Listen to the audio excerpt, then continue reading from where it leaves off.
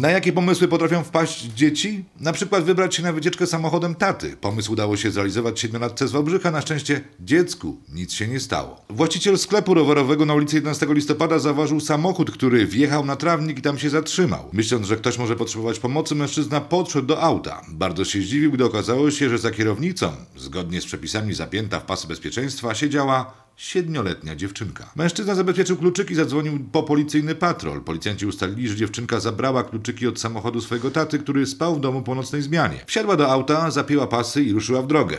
Jak relacjonują świadkowie, przejechała około 100 metrów i zatrzymała się na trawniku. Na szczęście siedmiolatce nic się nie stało. Dziewczynka jedynie najadła się sporo strachu. To, że wszystko drożeje, odczuwamy mocno w swoich portfelach. Na jeszcze większą skalę odczuwają to władze samorządowe, a tempo podwyżek wszystkich kosztów utrzymania miasta i realizacji inwestycji jest największe od lat. Zgodnie z najnowszą aktualizacją uchwały budżetowej suma wszystkich planowanych wydatków w gminie to ponad 834,7 miliona złotych. Z tego ponad 150 milionów to budżet inwestycyjny, reszta to tak zwane wydatki bieżące, czyli realne koszty utrzymania miasta, na które składają się m.in. takie elementy jak oświata, transport, gospodarka mieszkaniowa i wiele innych. Władze Wałbrzycha niepokoi fakt, że w ostatnim czasie odnotowuje się bardzo wysokie podwyżki we wszystkich możliwych sferach funkcjonowania. Dzięki ustawie w sprawie cen prądu, m.in. samorządy uniknęły podwyżek w drugiej połowie tego roku, ale w przyszłym roku możliwe, że zapłacą nawet o 50% więcej. Stale rosną także koszty wynagrodzeń pracowników, zwłaszcza w świetle najwyższych od lat podwyżek pensji minimalnych. Do tego dochodzą jeszcze nieprzewidziane wydatki, jak niedawno ustanowione dodatki dla nauczycieli, co prawdopodobnie w większości obciąży budżet miasta. I już teraz wiadomo, że w tym roku gmina dopłaci do oświaty około 49 milionów złotych, których nie pokryje subwencja oświatowa. Ciężkie zadania czekają także wszystkich miejskich skarbników. Budżet, jak wiadomo, nie jest z gumy i nie wszystko można finansować kredytami. Zatem w praktyce możemy spodziewać się mniejszej liczby inwestycji i skrupulatnego szukania oszczędności.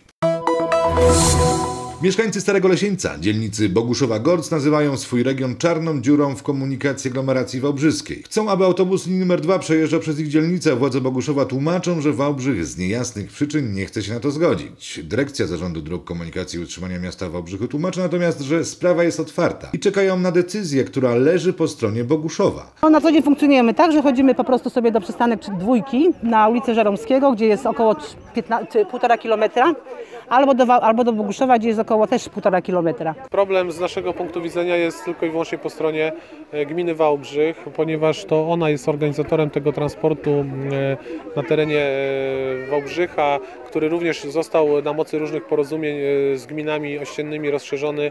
Z pisma, które otrzymali włodarze Boguszowa w kwietniu wynika, że z powodu rozpoczynającej się wówczas budowy obwodnicy zachodniej Wałbrzycha i utrudnieniach, jakie powodować będzie ruch, wstrzymano pracę nad analizą możliwości przedłużenia linii nr 2. Władze Boguszowa ponownie zwróciły się do Zarządu Dróg oraz prezydenta Wałbrzycha o rozpatrzenie tego wniosku i odpowiedź nadeszła w czerwcu. Ponownie otrzymaliśmy taką samą odpowiedź, że e, na razie w tym etapie właśnie rozpoczętych e, budów obwodnicy, przygotowywanych e, e, przez e, wykonawcę tam e, zmian organizacji ruchu w Obrzychu, nie jest to możliwe. E, No dla nas był to argument taki troszkę dziwny, e, tym bardziej, że niedawno e, doszły, doszły nas z mediów informacje, że e, gmina Stare Bogaczowice e, podpisała e, z gminą Wałbrzych porozumienie rozszerzające na przykład kurs e, linii numer 8 o kolejną e, miejscowość do Gostkowa aż. Z wyjaśnieniem tej sprawy zwróciliśmy się do Dyrekcji Zarządu Dróg Komunikacji i Utrzymania Miasta. Tu wyjaśniono nam, że nowe porozumienie ze Starymi Bogaczowicami dotyczy wyłącznie kursów w niedzielę, a gmina partnerska wzięła na siebie wszystkie koszty utrzymania tych połączeń. Zapewniono nas, że Wałbrzych nie jest przeciwny przedłużeniu linii numer 2 oraz, że przedstawiono władzom Boguszowa kosztorys takiej operacji i po tym korespondencja się urwała. I teraz, jeżeli chodzi o rozmowę na temat skomunikowania z Lesieńcem, to ostatnie pismo, które ja mam z 5 czerwca, które skierowaliśmy do e, pana Sebastiana Drapała, zastępcy burmistrza miasta Boguszów-Gorce, jest takie, w której m, przedstawiamy analizę kosztów Pismo, o którym mówi Bogusław Rogiński, to ten sam dokument z czerwca, o którym wspomniał Grzegorz Łuczko. Pomijając odpowiedź dotyczącą analizy kosztów, zapytany o to, czy gmina jest gotowa sfinalizować to połączenie, odpowiedział nam. To byliśmy gotowi ponieść e, te koszty no, tak naprawdę już od stycznia tego roku, e, bo nie są to tak znaczące koszty. E, Transport publiczny zawsze e, wymaga dotacji. Nie byłoby z tym problemu żadnego.